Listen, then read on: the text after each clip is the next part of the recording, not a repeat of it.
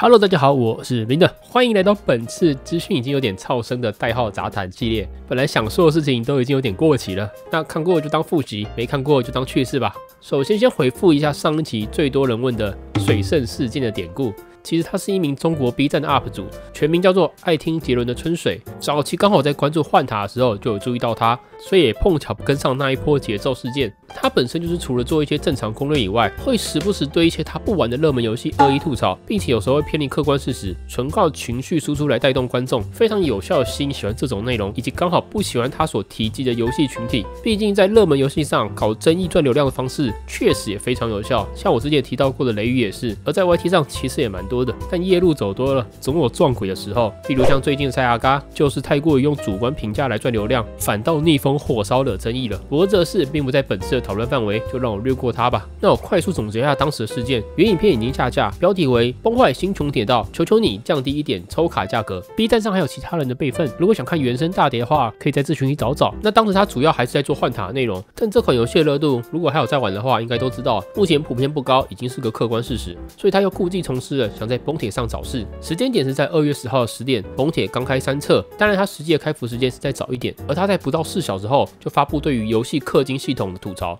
如果平时有在做影片剪辑的就知道，写文案加字幕以及后期制作都是需要不短的时间，外加 B 端上传影片是需要审查的，所以显然这是早已预谋已久，有备而来，就是等着游戏开服后贴素材。而相关证据居然还是出自自己的小群啊！而且他在去年自己发的另外一部影片中，还特别提到自己不喜欢那种跟风黑评测的方式。他玩那款马纳西斯的回响。整整玩了三十个小时才敢评测，真的是被过去的回旋镖打脸自己。那继续回到当时的影片重点，他简短带过说游戏内容不错，但认为氪金太贵，而且商城没有那些常见的手厨或者便宜礼包可以让韭菜买，所以自己想氪金又花不下去。然后他特别提到其他款游戏来对比，像是王者荣耀、三国杀、幻塔。战双等，而且它是用崩铁一个角色的顶配价格来对比，就是满命满金。首先这边就是个谬论了，先不提为什么二次元游戏不跟二次元游戏比，里面大概除了王者以外，三国杀跟幻塔都是很明显偏向卖数值导向的氪金游戏，只要你不长期花钱投入，就是准备掉队。而且那些看似便宜的礼包，也都是因为它可以有效的引导消费，所以变成各家厂商都很爱用的方式，甚至还玩出各种花式变化。但实际上这也并不是真的利好消费者啊，单纯就是个促销手段罢了。而且在一个纯 PVE 没有 PVP 的游戏，一般玩家谁没事会去抽到顶配？这类游戏，但凡你玩过一段时间都知道，没有任何强抽卡必要，而且也没有靠所战力或者配对阻止你的通关主线。就像你买车，标配就是完全体，顶配就是给有余力并且追求更好、更舒适的用户，都是为服务不同需求。如果不想花时间、不想花钱，又想当欧洲人全图鉴，什么体验都想要的话，建议要么换游戏，要么去睡。梦里什么都有。再来还要提到了。有骨气的厂商能让无氪体验全部内容。老实说，很多手游无氪都能玩，但如果要在短时间内体验全部内容，大多是非常困难的。尤其像什么限定资源、时装、仓库、全角色装备等，很多也都是要花钱购买。而且如果能做到完全无氪体验，那这些厂商大概是什么慈善家吧？然后后面又讲那个永传经典的言论：崩铁投入的成本不高于其他开放类游戏，所以它的抽卡价格也不该过高。这边他没指明那些开放游戏是谁，而且过去他又说自己不是开开放世界游戏的受众，但本身又是个换塔主播，我真的也是搞得很乱啊。不过如果单从换塔营收来看的话，它实际的投入成本也一直在锐减，怎么也不见它降价呢？当然，这个言论后来也被各路玩家无限放大，变成一个 A O E 地图大炮，形成一种舆论氛围。只要未来中国出产的二次元游戏品质不如崩铁，那抽卡定价也不能高于它。于是后来另一款重返未来一九九九开启三测，就因为定价跟养成问题被玩家群起攻击，而官方后来马上道歉说会调整下降。然后这时候这个搞事仔又跳出来了，简短翻译就是我已经维克花了一万元人民币。这个游戏品质很好，你们这些玩家不该拿别的游戏来踩一捧一，而且后续明显为了赚这游戏的流量，所以这是他对游戏中的氪金系统轻描淡写的带过。简单来说就是自说自话的双标模式，但又矢口否认自己没有错，错的都是你们那些支持某家游戏的玩家。而这件事也后来造就了另一个经典：春水不等式，六四八大于一万元。结合这两件事，在中国手游圈开始发酵，正式迎来了二次元圈的后春水时代。他因此也被冠名所谓的“水圣”，希望他把各种价格打下来，什么房价啊、车价啊。而在这之后，只要二次元游戏的品质内容不达标，定价如果过高，就准备被喷。但大厂在工业化下本来就有竞争优势，有些认真做游戏的小厂商，开发成本也不可能压下来，就希望在唯一一款游戏上赚回本。我之前也提过了，福利价格那些都要结合游戏内的实际内容而定，结果被这样一搞。很多厂商应该是恨死他了。毕竟定价一直以来都是你情我愿，用户决定了市场走向。而且真要比的话，不少日韩油其实也挺坑的，有一些还没有所谓的保底。不过这其实也是反映了很多厂商，他们用廉价的内容却标上最高档的价格来割韭菜，或者当别人都在进步的时候，自己这几年却完全没有长进。像最近单机都还有出现那款奇葩到不行的魔界咕噜。或者像台湾每个月好几款的放置 M O 都是这类型，赚了很多钱都是去买广告，而不是反哺来提升游戏品质。毕竟呢，合法骗取暴利又不怕被告，让那些厂商宁可抓一波大的，也不想再慢慢赚小钱了。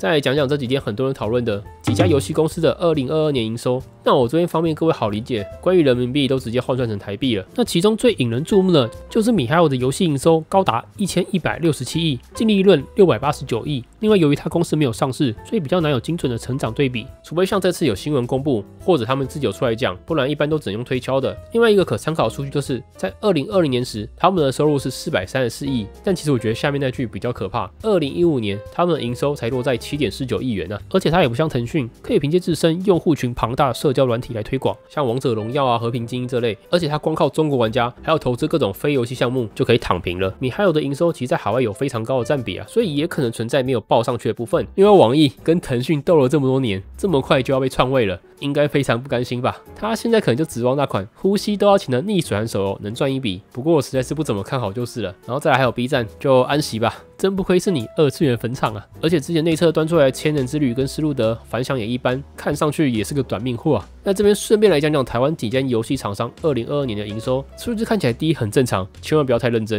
因为台湾人口少非常多，而且游戏产业在台湾并非主要项目，外加那些自研产品又常常一言难尽啊。那第一位星象，不愧是台湾的博弈大亨，持续发力中。那这边补充一下，其实各国都有博弈产业，也不只是台湾人好赌而已。而且可别忘了，全球营收排名前几名的 Coin Master 就是个博弈社交游戏啊。那只是台湾刚好在这方面特别突出而已。至于什么社会性问题，也不关我的事。我又不是什么新闻台，然后在大宇资讯的话，近期准备进军印度市场，有在当地成立的子公司新点研发并发行吃鸡游戏《掠夺者六号》，即将在七月十号上架。厂商主要是看好中印冲突后，当地政府将中国游戏全部下架，成为一片看似不错的蓝海。不过虽然我不是当地人，但 VPN 应该是件很容易的事情吧？而且我去查了一下，五月份当地营收最高的依旧是 Garena 的 Free Fire，另外 PUBG 也有出印度版，不妨猜猜这间公司有谁的投资？不过看了一下这个游戏画面。应该是不会来日韩跟其他厂商竞争啦，不然应该只会被打。外加竞技游戏本身也很需要撒钱巩固用户，不然 Apex 英雄 M 也不会停运了。不过这款后来转生成腾讯的另一款高能英雄，那就是另一个故事了。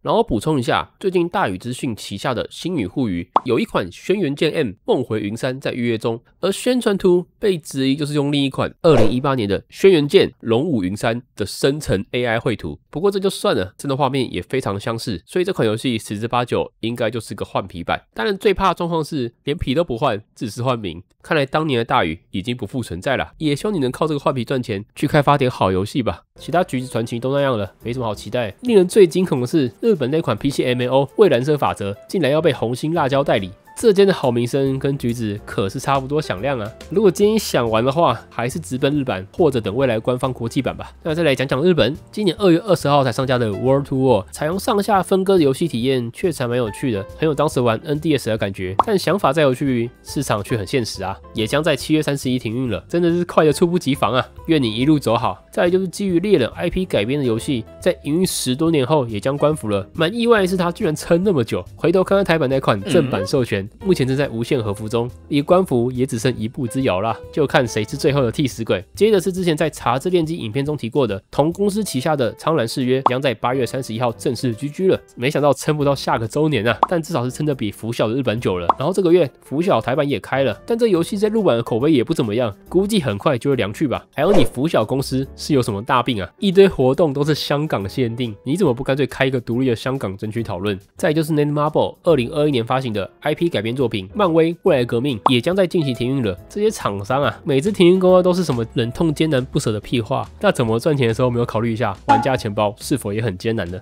然后看到这个留言，其实也挺乐的。游戏倒闭要求全额退款，想爽又不愿意钱白花，这真的是太有想法了。今天影片就到这边，我是明的，我们下次见，拜拜。